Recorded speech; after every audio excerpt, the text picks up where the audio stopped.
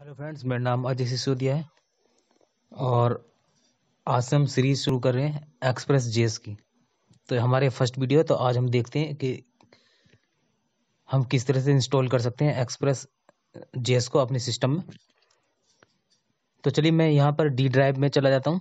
D drive में चला जाता हूँ, यहाँ आप टाइप करेंगे, गूगल में टाइप कीजिएगा एक्सप्रेस।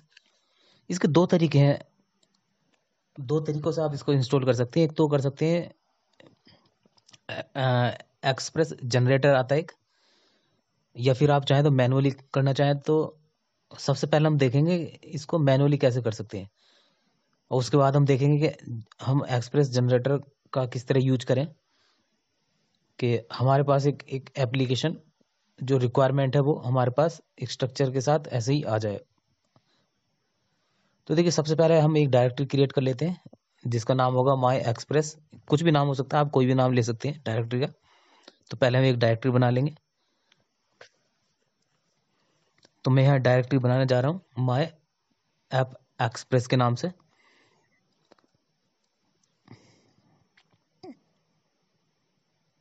तो मैं सी डी सी डी और कहने का मतलब है कि मैं अपने जो डायरेक्टरी मैंने बनाई थी, उसके अंदर आ चुका हूँ। और यहाँ मैं, मैंने डॉक्यूमेंट खोला हुआ, आप इसको देख सकते हैं, यहाँ से कॉपी पेस्ट भी कर सकते हैं। तो मैं यहाँ से ही कमांड को कॉपी करूँगा, जिससे टाइम बच जाए, और फिर चला के देखेंगे। तो आप ये डॉक्यूमेंट्स पढ़ सकते हैं, थोड़ा ठीक से समझ में आ जाएगा कि एक्सप्रेस जीएस का हम क्यों यूज़ करते हैं। मैं यहाँ करूँगा एन पी एम इनिट यानी कि इनिशलाइज जिससे हमारे पास एक पैकेज डॉट जेसन नाम की एक फ़ाइल जनरेट होगी। और उसमें कुछ लिस्ट होगी पैकेज कुछ पैकेज की। तो सबसे पहले आपको यही कमांड चलाना होगा। अब देखिए, ये यहाँ हमसे अब ये पूछ रहा है, कुछ इन्फॉर्मेशन ले रहा है पैकेज नेम क्या रखना चाहेंगे वर्जन क्या रखना चाहेंगे।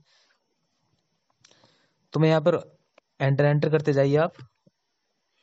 डिफ़ॉल्ट अभी आप प्रैक्टिस क्योंकि आप प्रैक्टिस में है तो आप एंटर करते जाइए। यहाँ भी एंटर करना है, और कम एंटर एंटर बाकी देखता है क्या होता है। और कीवर्ड ऑथर लिख सकते हैं आप कुछ भी, मैं अपना नाम दे देता हूँ। तो इसमें क्या होगा एक्सप्रेस जैसे हम क्या करेंगे डेटा से डेटा से इंटरेक्ट इंटरेक्ट हो सकते हैं हम इसमें, आसानी से। मतलब आप डेटाबेस में डेटा डेटाबेस में टेबल टेबल डेटाबेस की टेबल से वहाँ से रिकॉर्ड लेकर आ सकते हैं। कह सकते हैं आप इसमें वैकेंड पर भी काम कर सकते हैं। तो देखिए यहाँ पर ये कंप्लीट हो गया इतना। आप देख सकते हैं आप यहाँ पर फ़ाइल मैं यहाँ ओपन कर लेता हूँ। पहले मैं ऐड कर लेता हूँ। सबलाइम एडिटर में यूज़ कर रहा हूँ और उसमें मैं ऐड कर लेता हूँ इस फोल्डर को। तो यहाँ हमारा हाँ इस नाम से बनाया था मैंने। मैंने ऐसे क्लिक किया तो ये, यहाँ हमारे देखिए फ़ाइल हमारी इनिशलाइज मतलब कह सकते हैं कि एक जो हमारा पैकेज डॉट जेसन है कंप्लीट हो गया है। यहाँ डिटेल देख रहे होंगे आप तो जितने आप जो पैकेज इंस्टॉल करेंगे, उसकी लिस्ट आप यहाँ देख पाएँगे। तो यहाँ आपको मैनुअली करना होगा। जो भी हमें ज़रूरत, कोई पैकेज अगर हमें ज़रूरत पड़ेगी तो उसको हमें एक एक करके इंस्टॉल सेव करना होगा इंस्टॉल करना होगा। मैं यहाँ एन पी एन इंस्टॉल कर लेता हूँ, जिससे एन पी एन इंस्टॉल हो जाए। N P N install express sorry N P N install express dash dash save command चलाता हूँ।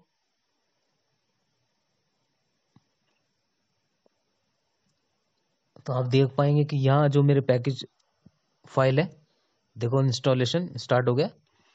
और यहाँ आप देख सकते हैं कि जैसे ये पैकेज इंस्टॉल हो रहा है एक्सप्रेस जीएस इंस्टॉल हो रही है, और यहाँ आप लिस्ट में भी देख पाएँगे चेंजेस तो यहाँ मैं इसको ओपन कर लेता हूँ। ये देखिए कंप्लीट हो गया। तो जो भी पैकेज होंगे, वो यहाँ लिस्ट में आप देख पाएँगे इस फ़ाइल में। तो दोस्तों आप इससे डेटा डिस्प्ले मतलब कहने का मतलब कि डेटाबेस से आप डेटा को डेटा एक्सेस कर सकते हैं। बहुत आसानी से। एक्सप्रेस जेएस जेएस का यूज़ करते हुए। तो देखिए हमने जो ये एनपीएम इंस्टॉल किया था, उसके आप देख सकते हैं पैकेजेस अब यहाँ हमें क्या करना होगा, जो पैकेजेस हमें रिक्वायर होंगे तो हमें एक एक करके इंस्टॉल करना होगा उसको। जबकि जो नेक्स्ट जो हम तरीका देखेंगे उसमें एक्सप्रेस जनरेटर से हम यूज़ करेंगे तो हमारे पास एक प्रोजेक्ट पूरा कंप्लीट जो है डायरेक्टर के हिसाब से प्रोजेक्ट आएगा उसमें। जो रिक्वायरमेंट होगी फोल्डर हो या सॉरी डायरेक्टरी हो या पेजेस हो। तो अभी आप देखिए, यहाँ दे सकते हैं, ये एक तरीका तो ये रहा। कि आप एक एक करके उसको इंस्टॉल करते जाएँ पैकेज को। तो अब हम अब हम देखेंगे दूसरा जो मेथड है वो क्या है।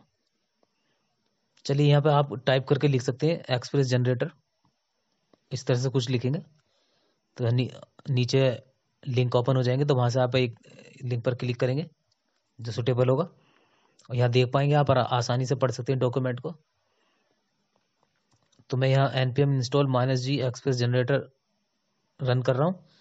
माइनस जी का मतलब होता है ग्लोबली जो कि आपके सिस्टम में भी सिस्टम में ही इंस्टॉल हो जाएगा। आपके इस डायरेक्टरी में तो नहीं होगा ही लेकिन सिस्टम जो होगा ग्लोबली वहाँ। तो अब इसकी सहायता से आप क्या कर सकते हैं? किसी भी ड्राइव में जाकर अपने विंडो की जो कोई भी ड्राइव है, मैं यहाँ डी में हूँ। आपको जे डी आई जो भी ड्राइव है, उसमें कहीं भी जाएँगे तो आप आसानी से इसकी हेल्प से आप एक एप्लीकेशन इंस्टॉल कर सकते हैं। एक कह सकते हैं कि स्केलेटन एक स्केलेटन इंस्टॉल कर सकते हैं। देखिए, मैं एक्सप्रेस माइनस एच करूँगा तो ऑप्शन देख सकते हैं आप। जैसे यहाँ पग लिखा है, ये ऑप्शन आप इनको यूज़ कर सकते हैं। अभी हम जो व्यू कौन सा लेना चाहेंगे? पग। पग टेम्पलेट यूज़ करेंगे टेम्पलेट इंजन तो उसको हम यहाँ देख सकते हैं आप। बहुत सारे ऑप्शन यहाँ ओपन हो जाते हैं। आप वर्जन चेक कर सकते हैं इसमें। Dash dash version express dash dash version check करेंगे तो ये वर्जन शो करेगा। मैं सी एल एस कर देता हूँ क्लियर स्क्रीन और मैं रन करता हूँ एक्सप्रेस माइनस एच ये कह रहा है कि एक्सप्रेस इज़ नॉट रिकग्नाइज वो इसलिए कह रहा है कि हम हम अभी एक्चुअली डी ड्राइव में है।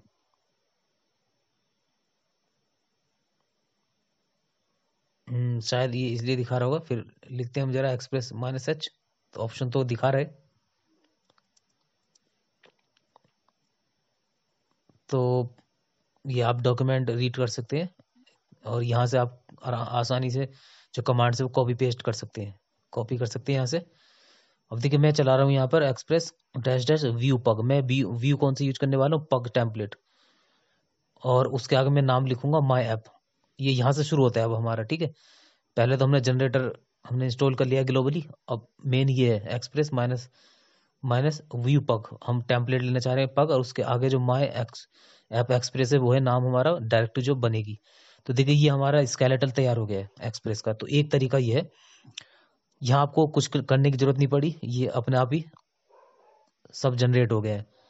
पब्लिक फोल्डर हो गया पब्लिक फोल्डर में क्या क्या है, देखिए, ये सब दिखा रहा है राउट्स हैं। अब मैं यहाँ पर C D my app express enter करता हूँ तो देखिए ये स्केलेटल आपको आसानी से मिल जाएगा। अगर आप एक्सप्रेस जनरेटर का यूज़ करेंगे तो तो ये स्केलेटल आसानी से मिल जाता है। बिगनर के लिए तो बहुत अच्छा है। जबकि पहले में ऐसा नहीं था, पहले जो आपने तरीका देखा था, उसमें आपको एक एक करके जो रिक्वायरमेंट थी प्रोजेक्ट में जो भी ज़रूरत पड़ती है उसको आपको अलग अलग से इंस्टॉल करना होता है। अब देखिए मैं यहाँ सबलाइन में अपना इस प्रोजेक्ट को ओपन कर लेता हूँ। आप किसी में भी कर सकते हैं, जो भी एडिटर आपको पसंद हो।